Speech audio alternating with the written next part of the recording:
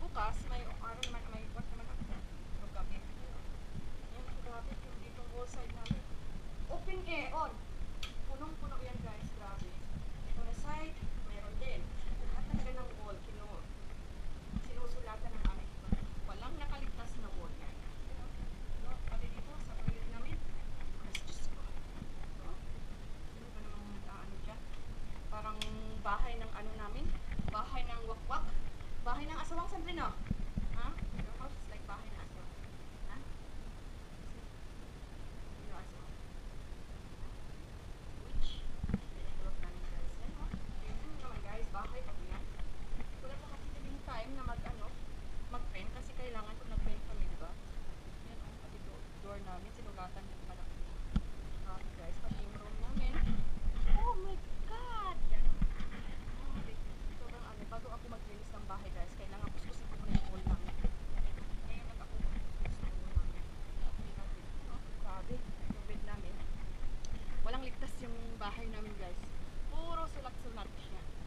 bahay pa ba yan guys? Tingnan nyo kung ano, bahay pa ba talaga yan.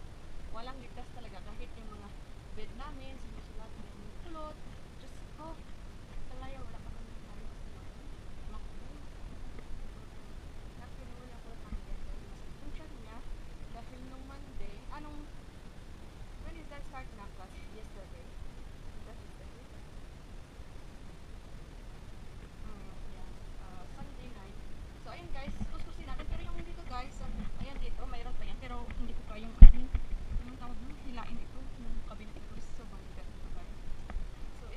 kwarto na to, hindi naman masyado madumi dahil hindi pumapasok yung bulok namin dito. Pero nung dito pa nakatira yung yung anak ng partner ko, hindi naisip ko yun kasi yung, yung friend ko, Ate Paula is uh, sleep over at home. So, with, uh, yung mga box ko, yung mga kailangan kong isend sa Pilipinas, ay ayosin ko na para masend ko What's that? Yeah, this remote the Ito, hindi naman masyadong ano, yung ano,